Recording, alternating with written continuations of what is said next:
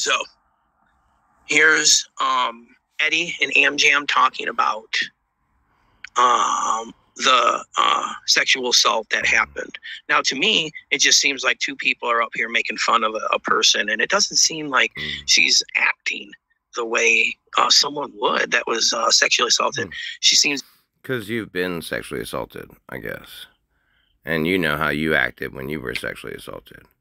And so, therefore, you know, based on your experience with being sexually assaulted, you know how people might generally act if they were sexually assaulted. Not that everyone's going to act the exact same when they're sexually assaulted, but because you've been sexually assaulted, you know what someone who's been sexually assaulted would act like a year after it happened. Okay, go ahead. be very high. And remember, Eddie and Amber met at Also, she seems to be very high based on you listening to her talk and relative to no other time you've ever heard her talk because she's been the same since you've heard her on YouTube, right? You you get snippets of her, you compare it to snippets of her, which is all you got, and you go she seems to be high. Because you would know because you've been high. So you've been high and you've been sexually assaulted, and that's why you would know why she sounds both high and, of course, not someone who's been sexually assaulted because they didn't react the way you would react. uh, rehab. So let's hash this out. Let's go. Let's And you just said Amber and I met each other in rehab. It's, it's good thing I'm not Chille fucking DeCastro, right, dog? Because I might fucking go to a court and try to sue you to have you pay me money for defaming my, my, myself and my family. I might do that if I gave a fuck. You have the right to say all this shit. I don't give a shit. I don't care about your opinion. I will decimate your opinion here in this very fucking video, but it doesn't mean I care.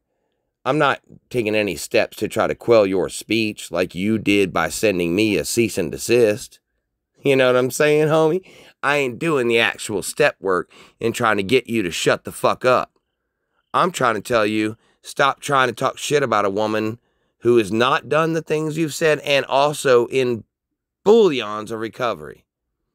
She's beating the shit out of recovery right now. She's doing great. She has not done anything untoward for you to say anything toward her since you've known her. You made an opinion based on my comments about what I said happened to her, or her comments about what she said happened to her. You made an opinion. You have never smoked, spoke to the opposing party. You never talked to Cullen or, or Craig. You've just made this a troll on me since for four years. For four years. You've trolled me with my wife is a whore, right? That's what you've done. I've told you she's not. She told you she's not. But you think she is because she doesn't act the way you think someone should act a year after that happened to them.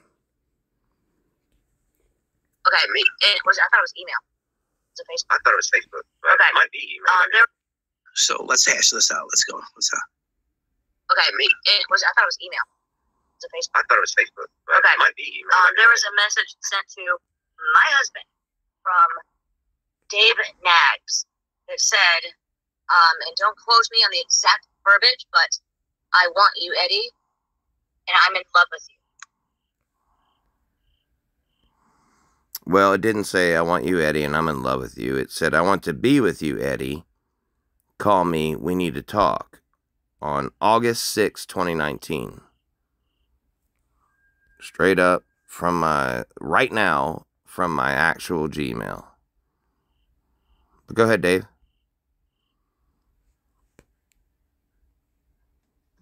So, uh, did y'all hear that? Let's back this up again. This is the type of lies and deceit that I have to go through because I pulled up what seems to be, the, in my opinion, the truth. Here's what I have to live with. My husband from Dave Nags that said, um, and don't quote me on the exact verbiage, but I want you, Eddie, and I'm in love with you. Or it said, I'm in love with you. I want you. All right. That's you're, got, you're definitely right about the point. The point And- is that's what he said, and I showed it to my wife. Like, what do you think of this? This was during a time when we had had Let's see the text. Or was it an email or was it Facebook? It was an email. Right there. Right there. Email. I want to be with you, Eddie, spelled wrong. August 6, 2019. Call me. We need to talk. And then you change your number seven times since then. Remember that? Massive lie. Huge lie right there. Really though? Just was it a huge lie? Because there it is. All right. There it is. That's right straight out my Gmail, dude. I looked up Slab City Newz in my Gmail. There you are. All the Slab City Newz is right. And there you are. I want to be with you, Eddie. Call me. We need to talk. Man, I know you really must hate transparency right now. You know when two people are fighting about something that is cut deep? The worst thing you can do as a bystander is get into the situation because both of their hatred towards the subject just gets pushed off to the bystander. Are you saying that? Oh my goodness. Are you saying that because you butted your nose into our business and went public saying that my wife is a lying, cheating whore about what happened with Cullen and Craig? And since you butted your head into it, that we're now taking that out on you? You know, Cullen and Craig have never disputed anything we've said publicly. You're the only one. You and uh, uh, uh, Randy and uh, AJ are the only ones who publicly disputed what was said on their behalf. So yeah, you're going to get targeted with the uh, the response. You live in Michigan. You weren't here. You've never been here when that shit was going on. You weren't here. And when you were here, you didn't tell me you were here. Is me. So every time they think about the Colin Bramlett situation that happened at Red's restaurant in Concord, North Carolina, they think about me. That's not where it happened. It happened at Conversation Piece restaurant in Concord, North Carolina. And Colin Bramlett was one of the owners. All right. And Craig Measham was the bar manager. All right. And they took her home and they attempted to SA my wife, sexually assault my wife. Okay. That's what happened. And now they were successful at that because they did that. They didn't rape her. And I misspoke early on when I said rape because I think if you touch my wife like that, it's rape. I just feel like that. Legally speaking, it's not right. No, not in North Carolina. No. It's not considered rape in North Carolina, but it's close enough, man. It's an essay. And it, by the way, was a conspiratorial essay.